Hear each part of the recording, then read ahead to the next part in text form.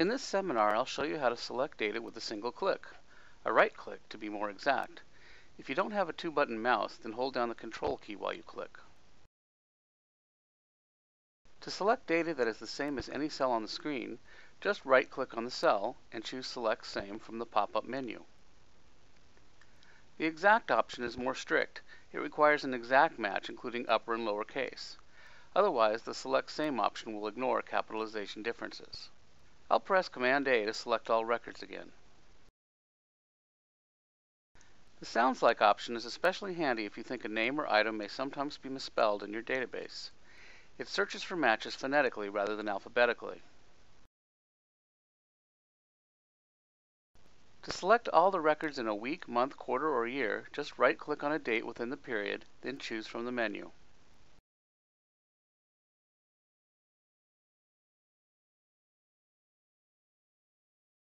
Numeric selections don't have to be exact. You can select all the values that are within 10% of the current cell.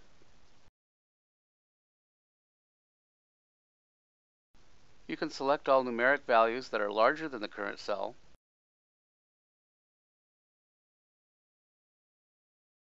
or smaller. You can select all dates after the current cell,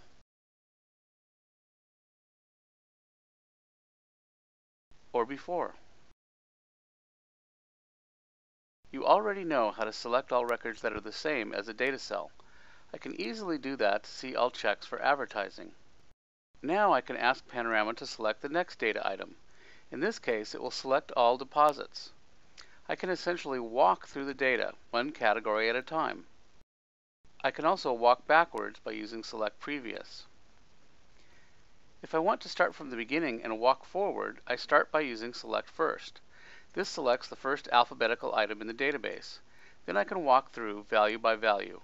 I can also start from the end and walk backwards through the data.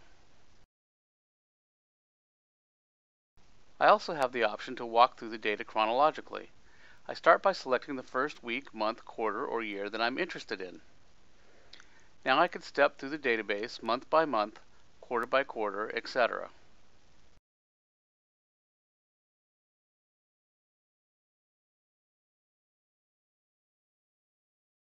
If you have a subset selected, you can easily display totals and other statistical information.